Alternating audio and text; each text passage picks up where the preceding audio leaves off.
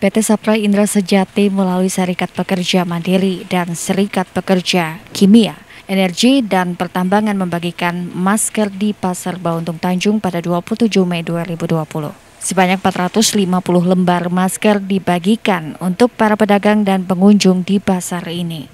Bantuan masker ini sebagai upaya perusahaan tambang untuk membantu pemerintah daerah menekan penyebaran virus corona terutama di lokasi padat aktivitas seperti di pasar ini. Melalui pembagian masker ini, masyarakat diharapkan dapat mematuhi protokol kesehatan pencegahan COVID-19 yang dianjurkan pemerintah, yaitu menggunakan masker saat beraktivitas di luar rumah.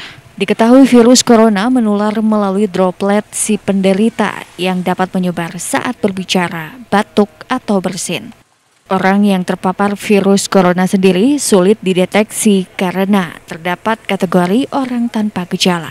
Orang ini berpotensi besar menyebarkan virus tanpa diketahui, sehingga penggunaan masker menjadi APD wajib setiap orang ketika harus beraktivitas di luar rumah.